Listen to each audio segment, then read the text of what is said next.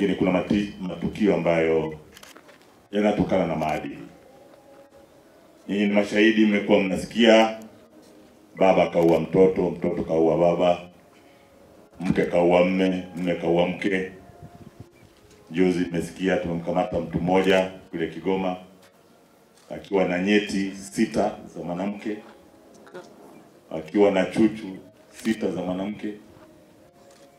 Tumekwenda kumhoji vizuri, tumekupeleka nyumbani kwake, kumempekua, tumemkuta ana kitoto kichanga kimefariki, mweko kwenye ndoo, kina miezi sita. Kwa hiyo tuna matukio haya ya mauaji ya hovyo hovyo, matukio ambayo mtoto wa miezi miwili anabakwa anakufa. Yote haya ni kwa sababu ya maadili.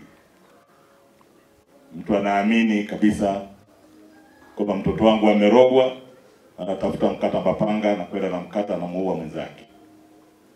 Yote haya ni kwa sababu ya kutomjua Mungu. Kwa hiyo ndugu zangu, ni makosa mengine ambayo jeshi peke yake haiwezi kupambana nayo na kuyamaliza. Ni sisi tufike mahala tuseme basi, ni sisi tufike mahala tujue Mungu yupo na kwamba kuna siku tutakwenda kuwajibika. Mkoa wa Iringa unaongoza kama alivyosema mdau kwa makosa mengi ya kubaka, makosa ya unyanyasaji wa kijinsia, lakini ukiangalia kiini cha matatizo makubwa ni imani ya kishirikina. Mtu anaamini bila kwenda kwa sangoma hawezi kuwa tajiri.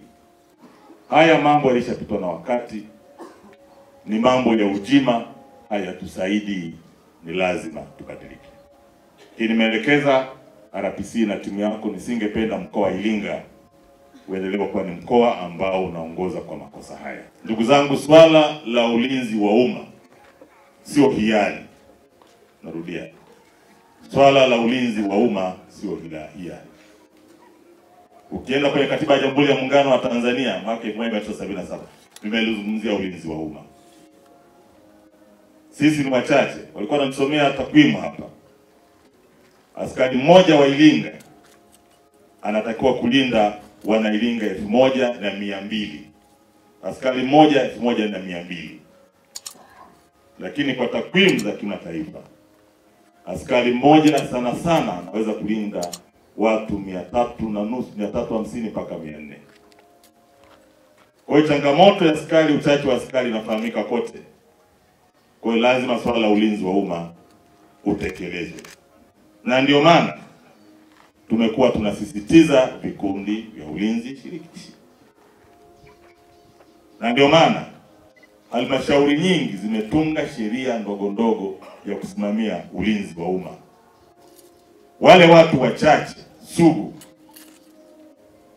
wanaofikiri ulinzi huu lazima ufanywe na serikali peke yake, sheria inachukua mkondo wake, na vikundi vya ulinzi shirikishi vinasimamiwa ni wenye viti wa serikali za mitaa. Askari hawa ni wa kwenu, na sote wanawaambia askari tuwaheshimu sana Watanzania, tutende haki. Ukitenda haki, wananchi watakuelewa, watakupa taarifa, watasaidia jeshi. Niwaombe Watanzania wenzangu, hawa askari wametoka kwa Tanzania, tujawatoa Marekani wala Uingereza wala wapi, wa Tanzania. Tushirikiane nao. Ukiona wachache wawili tatu wana matatizo, viongozi tupo, tupeane taarifa, hao wachache tuweze kuchukua hatua, kwa sababu sheria zipo na miongozo ya jeshi ipo. Kwa kufanya hivyo, tutasaidiana na kuhakikisha wale wachache tunaweza kuwashughulikia.